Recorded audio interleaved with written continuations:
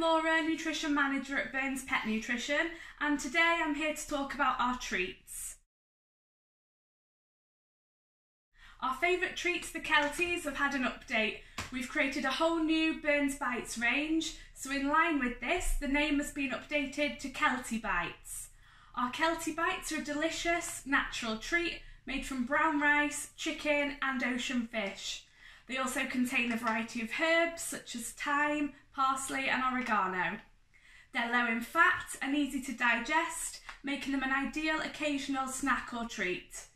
Developed by vet John Burns and hypoallergenic, they go really well alongside our trusted original chicken and brown rice formula. They're also a great treat for sensitive dogs or those prone to weight gain as we use restricted levels of protein and fat.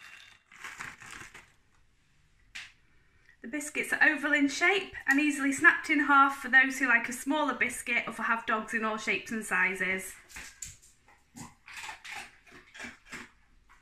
They're perfect for owners who want to watch their dog's weight but also like to give them a treat. When they're leaving the house or before bed, as with any treat, they should be accounted for within the dog's daily allowance of food. One Keltie bite is worth around 5 grams of Burns dry food. They're a complementary food suitable for dogs of all ages and breeds, and they come in a 200 gram bag which is fully recyclable. For more information on the Keltie Bites and the whole new treat range, please speak to your local Burns rep. We've got fantastic special offers on. We like to think the Keltie Bites tell the story of Burns in a biscuit healthy, natural, and wholesome.